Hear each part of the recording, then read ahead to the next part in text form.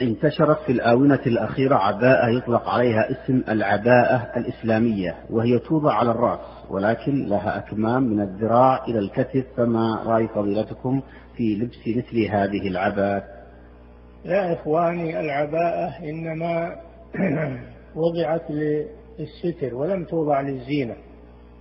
ليست لباس زينة ولا يجوز أن أن تتخذ للزينة أو أن تطرز أو يوضع فيها نقوش أو يفتح لها أكمام وتصبح كالثوب.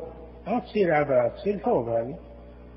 العباءة إنما هي للستر تستر جميع بدن المرأة مثل الجلال الكبير الذي هو الجلباب. الغرض منها الستر وليس الغرض منها التزين بل الغرض منها ستر التزين. أمام الرجال. فلا يجوز التفنن في العباءات. تسميتها إسلامية هذا للترويج. وإلا ليست إسلامية. هذه للترويج فقط. العباءة الإسلامية هي العباءة الساترة الضافية المتينة الخالية من النقوش والتطريزات والزينة. تكون ساذجة كذا ما فيها شيء. نعم.